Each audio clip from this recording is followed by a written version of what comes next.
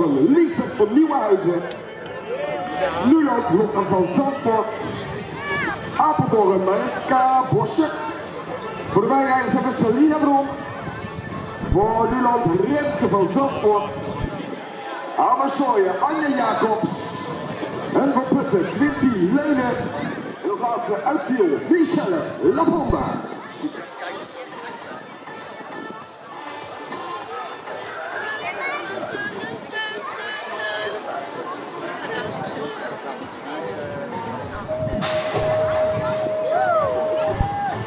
Ryan voor de worst gate.